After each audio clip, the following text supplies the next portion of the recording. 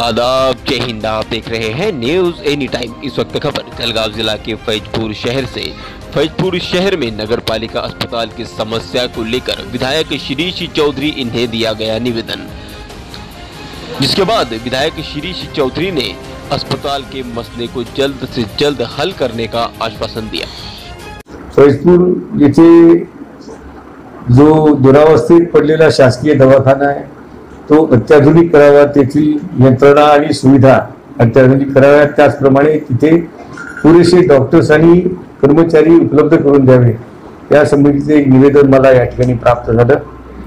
मी माननीय आरोग्यमंत्री नामदार राजेजी टोपे यांना व्यक्तिशः समक्ष भेटून लवकरात लवकर ही मागणी पूर्ण करण्यासंबंधीचा पाठपुरावा सातत्याने करेल आणि लवकरात लवकर या रुग्णालय अभी मा- मामला ऐसा होता है कि नॉर्मल डिलीवरी को दस से बारह हज़ार मिला। और कभी पराठ में लेके आ रहे तो सीधा हो रहा। आज समझो दो सौ ढाई सौ रुपये कमाने वाला आदमी उनको परवड़ता हाँ।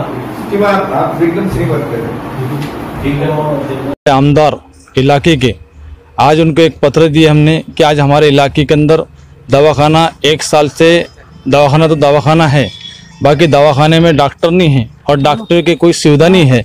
इसलिए हमारे फैजपुर के अंदर जिस 2002 के अंदर दवाखाने का जो मंजूर हुआ था दवाखाना बनाने का आज तक उन दवाखाना नहीं बना।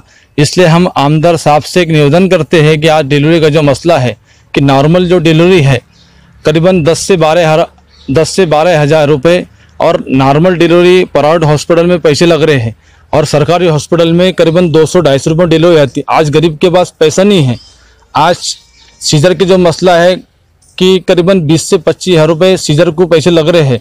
इसलिए आज गरीब इसलिए निवेदन दिया कि भाई जो डिलीवरी का मसला है वहाँ, जो गौर गरीब लोग आते हैं, डिलीवरी का मसला है, कुछ दूसरे मसले कुछ बीमारी का मसला है, और कोरोना महामारी से सब लोग परेशान हैं। ये परेशानी के आलम में बहुत तकलीफ़ उठाना पड़ रही है। डॉक्टर, आज जो नॉर्मल डिलीवरी का जो केस है, आज पंद्रह से बीस हज़ार, पच्चीस हज़ार रुपये लगते हैं, गरीब कहाँ से लाएँगा? और जो विषय हमने दादा के सामने रखे तो हम चाहते हैं कि विषय जल्द से जल्द हमारा